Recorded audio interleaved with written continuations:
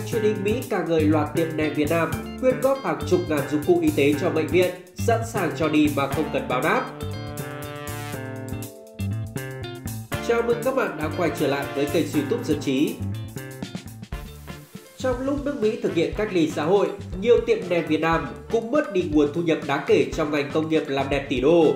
Tuy vậy, họ không hề phàn nàn mà còn đóng góp khẩu trang, găng tay, đồ bảo hộ, những thiết bị đang rất khan hiếm ở bệnh viện. Cách đây 2 tuần, Huy Nguyễn đã đóng cửa tiệm làm đẹp Top Nè Hải ở thành phố Mobile, bang Alabama để chống dịch Covid-19.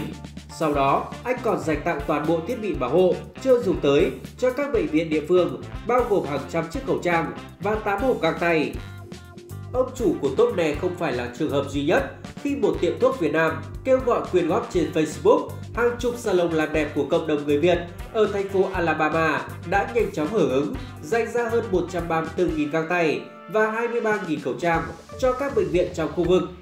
Ngoài ra, anh Huy đang tiếp tục kêu gọi bạn bè trên khắp nước Mỹ giúp sức cho việc làm ý nghĩa này.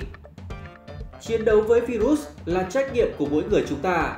Anh Huy nói với đài NBC, Chúng tôi không làm trong ngành y, không thể trực tiếp đương đầu với virus, nhưng vẫn muốn chia sẻ trách nhiệm và chia sẻ những gì chúng tôi đang có với cộng đồng.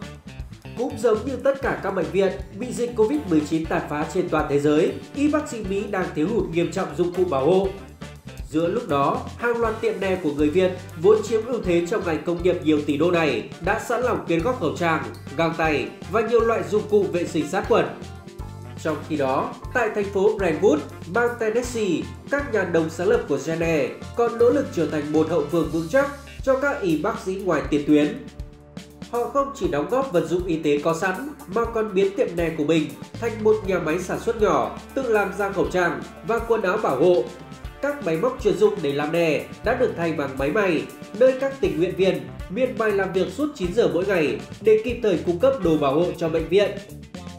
Trà Nguyễn, đồng sáng lập Gene, cho biết cô từng làm điều dưỡng suốt nhiều năm và vẫn giữ mối quan hệ thân mật với các đồng nghiệp. Khi tôi thấy nhiều người trong số họ lo lắng vì thiếu đồ bảo hộ, tôi rất muốn giúp đỡ. Y bác sĩ cần phải được bảo vệ trước tiền để có thể chăm sóc cho các bệnh nhân của mình. Sau đó tôi nghĩ mình có thể may khẩu trang và quần áo bảo hộ vì gia đình tôi vốn giỏi khoản này mà nữ doanh nhân đã đóng cửa Gene ngay sau khi thống đốc bang yêu cầu ngừng các dịch vụ không thiết yếu từ ngày 2 tháng 4. Kế đó, cửa tiệm nhanh chóng dọn dẹp ký cảng, rồi nhân viên đã quay trở lại để sản xuất đồ bảo hộ, máy móc và nguyên liệu được các nhà hảo tâm đóng góp. Tuần đầu tiên, họ làm được hơn 3.000 khẩu trang và quần áo bảo hộ các loại, chuyển đến 3 bệnh viện địa phương. Nhìn nhận về hành động ý nghĩa của loạt tiệm nem Việt Nam, Phó giáo sư Rosalie Châu từ Đại học Carnegie Mellon cho biết sự kết nối trong cộng đồng kinh doanh có thể giúp tăng cường hoạt động thiện nguyện. Con người luôn có sự gắn kết với những ai tương đồng với mình. Đó là lý do vì sao khi một tiệm nè chuẩn bị tổ chức hoạt động nào đó, các cửa tiệm khác sẽ nhanh chóng muốn được hỗ trợ.